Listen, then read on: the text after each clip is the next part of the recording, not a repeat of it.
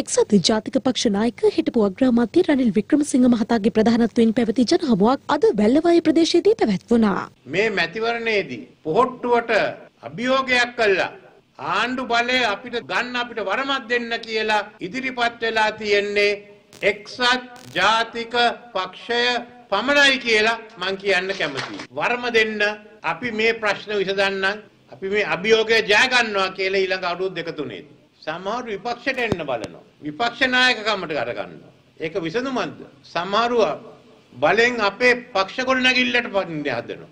ඒක විසඳුමක්ද?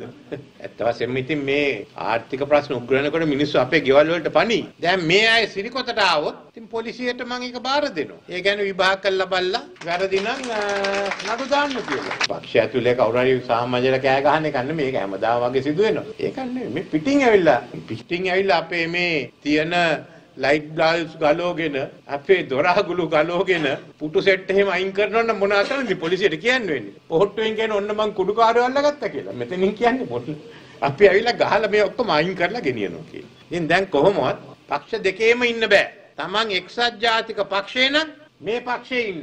Taman එක්සත් ජාතික පක්ෂේ නෙවෙයි නම් එන වෙන පක්ෂයකට යන්න. දිනපතා අලුත් වීඩියෝ සහ ප්‍රවෘත්ති නැරඹීමට ඉහත බටන එක ක්ලික් කර සියත TV සබස්ක්‍රයිබ් කරන්න.